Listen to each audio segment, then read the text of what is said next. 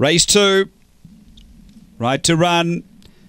Favourite in the seven away. Step beautifully. Fabregal. Speed from My Boy Ollie early is going to hold the lead. So My Boy Ollie leads. Fabregal looking for the rail and getting there. Still length and a half off the top. A couple away. Bellatrix as Fabregal rails up down the back. Six or seven away. Bathurst Bogan. Uh, then Lockling and Canley Matt back at the tail. Off the back and Fabregal gets away by a length and a half now My Boy Ollie. Bellatrix runs on.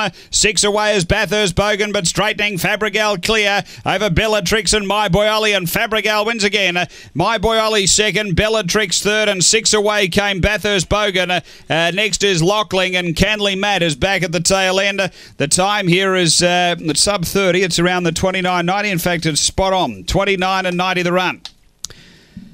After the running of race number two, uh, number seven, the winner, Fabregal. Numbers are seven, two, eight, and three is fourth. Fabregal, uh, Robin McKellar, a Black Bitch, March 2014. Fabregas, Alinga AJ, Terry McCallum, the winning owner. Fabregal, too good. Uh, second to two, my boy Ollie, Peter Jovanovic. A Blue Dog, March 2014. Barcia Bale, Disturbia. Number eight, which is Bellatrix, Kieran Corby, a Black Bitch, April 2014. Magic Sprite, uh, Bella Maldini. It's 7283 after race number two here at Angle Park.